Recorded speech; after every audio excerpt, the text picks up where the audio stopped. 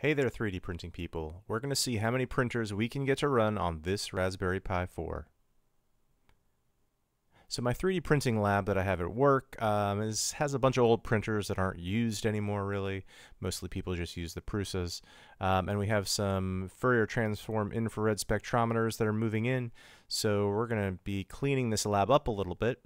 And I thought one of the things that we try and do is see if we can get all 10 of the printers that I have sitting over here on these couple of benches to run off of Octoprint instances on a single Raspberry Pi 4. Now I know this is possible because I do this on a Linux box already and I've been doing this for about three years. All right, so the Octopi uh, image that I'm using is one that I've developed that contains some scripts called Octoprint deploy, which makes the possibility for having very fast deployment of multiple instances on a Raspberry Pi. And so I've already in installed this and put this onto the Raspberry Pi and I'm SSHing into this and I've opened up the readme.txt and we're now going to open up the base instance which is going to establish sort of the basics uh, for all of the instances that we have. So we're going to use a administrative user here and if you don't mess up putting in the password stuff. We have that.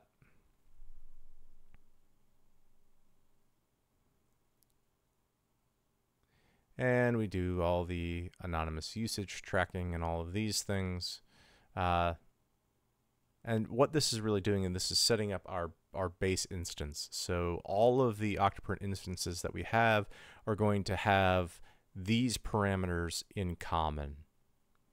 And so now we're going to go, uh, one of the things I'm going to do here is I'm actually going to upload a bunch of files, um, basically one for each of the printer types that I have so that we can start prints directly. And so when we copy everything over, all of these files will already be copied over in the upload directory here.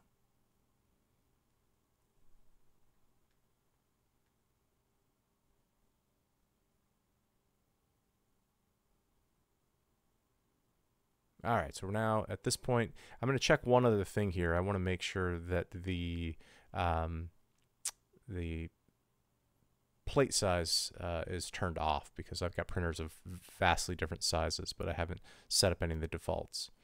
All right, so we're back into the SSH setup here, and all we're going to do is we're going to run this little script that I have, this Octoprint deploy script, and we're going to go through one printer and then I'll set everything up in double time. But to let you know, uh, setting this up for all 10 of these printers took uh, about 9 minutes and 30 seconds. So this includes me having to walk over and plug in the USB in order to uh, to get this set up. So that's what I'm doing now is I'm walking over, plugging in the USB for one printer, and it will pop up with the serial number here, and that's what we're using for identifiers. And I know that for all of the printers that I have, they have serial numbers, so they're all going to get identified. And now we're in, in 2x mode here, so we're going a little bit faster.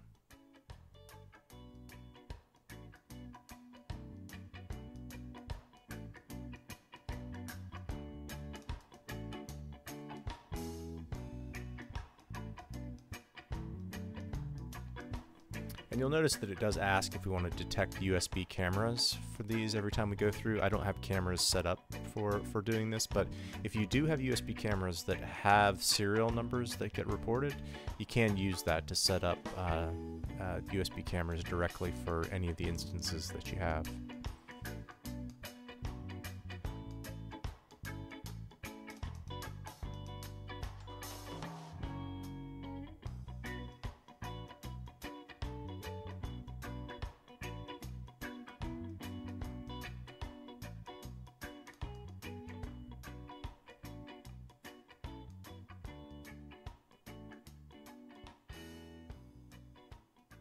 Now there are some cases where you run into where a printer does not have a serial number. And one of the options that these scripts do, does allow you to have is that you can um, use the current USB port that you have. And if you're using a hub, like I'm using in this case, you have to leave both the hub and the printer plugged into the same position on the uh, Raspberry Pi, and you'll be able to have the printer detected um, for each of the instances correctly in the udev entries. So that's how that's this is being done.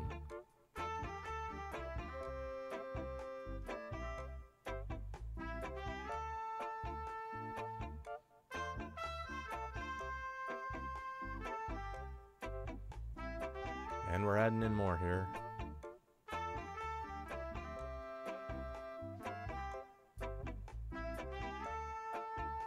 Think this is the eighth printer that we're setting up right now.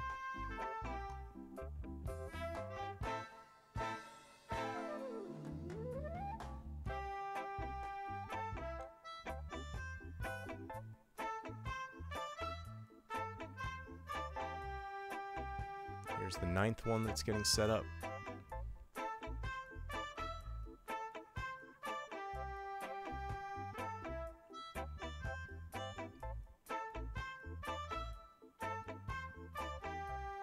And the last one, the MMU1.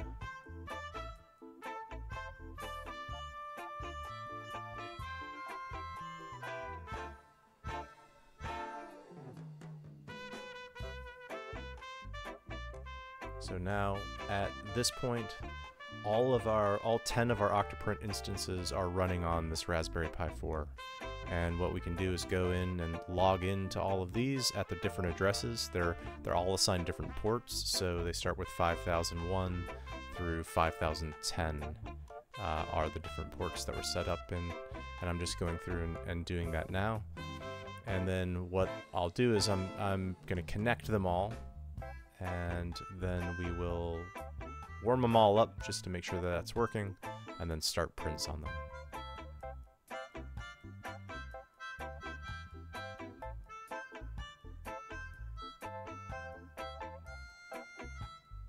One of the things about the way this is set up is that the binary instance of Octoprint is shared by all of these printers. So if you install a plugin on one of these instances, uh, if you restart any of the other plugins, or sorry, any of the other instances, that plugin will be installed on that instance that you restarted. So basically they're shared, so it makes um, having to do updates and things like that really, really fast because you only have to do it once and then restart your instances.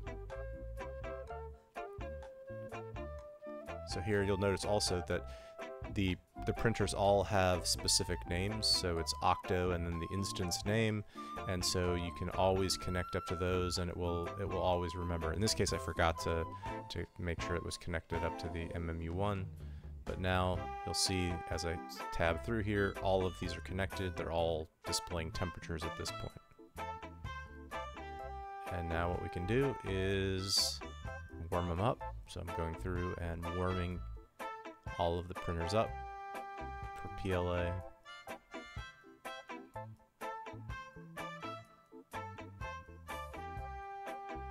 And now, just going to start up prints.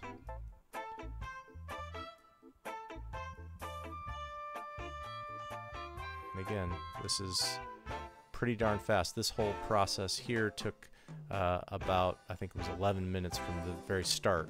So about 10 minutes to set everything up and then another couple of minutes. And now prints are running on all of these. We'll take a look. Yes, it's just hanging there because I didn't have a lot of space to work with, but there are five printers into that hub there. We have another five printers plugged into this hub here. And here, there's no filament going to this printer. It was having some problems. Uh, there's two printers, three, four, five. There's number six, number seven, number eight, number nine, and number 10, all on one Raspberry Pi simultaneously.